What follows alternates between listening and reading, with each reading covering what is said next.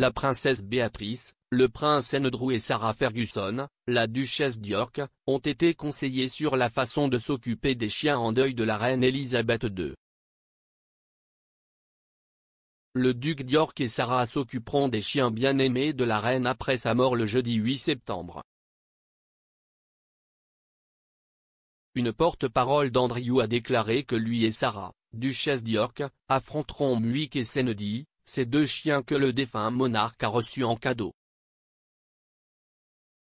De son fils. Au début de 2021, la reine a reçu de nouveaux chiots, un Dorji et un Corgi, en cadeau par Andrew, Béatrice et sa sœur la princesse Eugénie lors de leur séjour à Windsor pendant le verrouillage.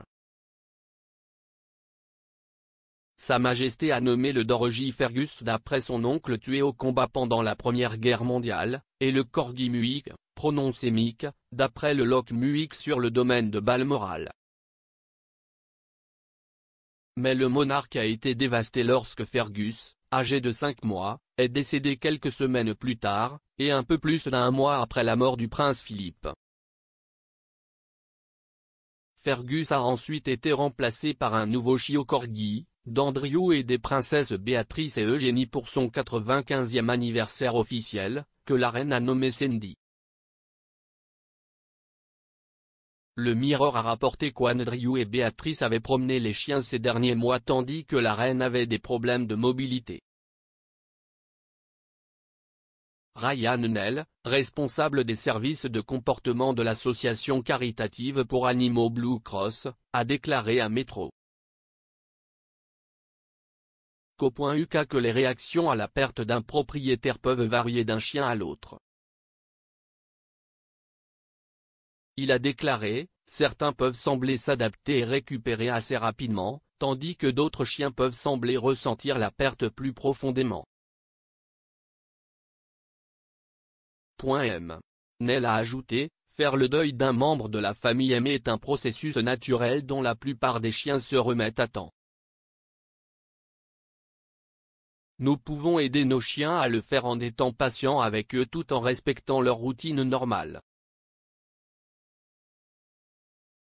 Essayez de ne pas trop compenser en changeant radicalement votre comportement ou leur routine, car cela pourrait être déroutant pour eux lorsque les choses reviendront normales. Point Sa Majesté avait cessé d'élever des chiens il y a sept ans, car elle hésitait à en laisser derrière elle à sa mort. Corgi a été accueilli dans la maison de la reine en 2021 alors que Philippe était hospitalisé, lorsqu'elle a reçu Fergus et Muick. En 2015, il a été rapporté qu'après la mort d'un de ses derniers corgis en 2012, la reine a dit à l'entraîneur de chevaux Monty Roberts qu'elle ne voulait plus avoir de jeunes chiens parce qu'elle ne voulait laisser aucun jeune chien derrière elle.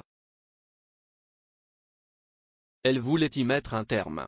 Lorsque Sa Majesté avait 7 ans en 1933, son père, le roi George VI, a acheté un corgi nommé Dookie pour elle et sa sœur Margaret.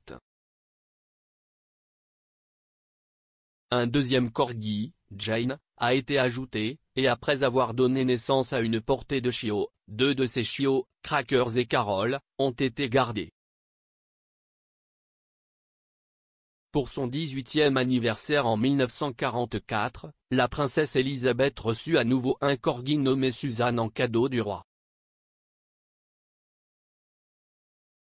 Depuis son accession au trône en 1952, la reine a possédé plus de 30 corgis. On attribue à la reine l'introduction du dorgi, après une rencontre imprévue entre son corgi, Tiny, et le teckel de la princesse Margaret, Pipkin.